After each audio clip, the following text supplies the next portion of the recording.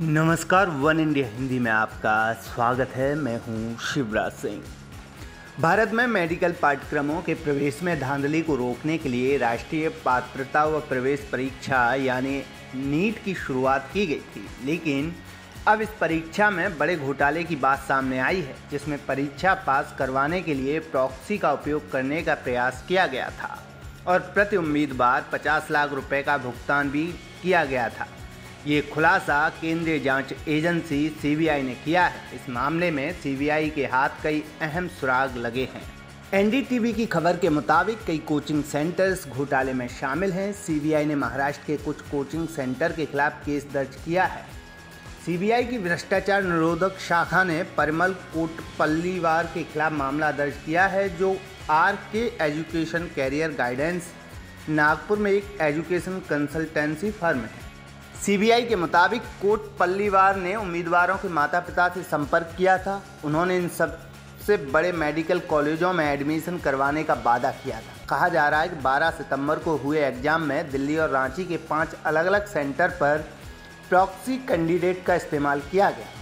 CBI की FIR में कहा गया है कि पेरेंट्स से पोस्ट डेटेड चेक और दसवीं और बारहवीं की ओरिजिनल मार्कशीट ली गई।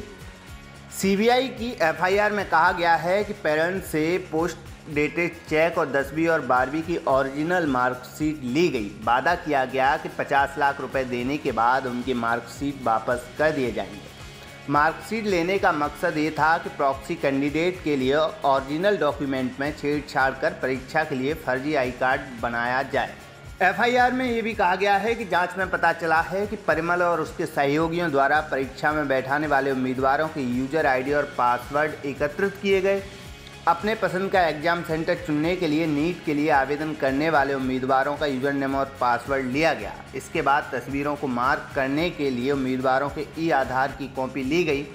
सूत्रों के अनुसार कोट पल्लीवार ने इस काम के लिए दो और लोगों की मदद ली। परिमल ने उम्मीदवारों को उत्तर कुंजी देने और ओएमआर सीट में हेरफेर करने का भी आश्वासन दिया था। एजेंसी के सूत्रों ने एनडीटीवी को बताया, आरोपी द्वारा किए गए वादों की जाँच की गई और गिरफ्तारियाँ की गई। हालाँकि एजेंसी के सूत्रों ने कहा कि उम्मीदवारों के लिए लगे प्रॉक्सी एनईईटी केंद्र पर नहीं आए।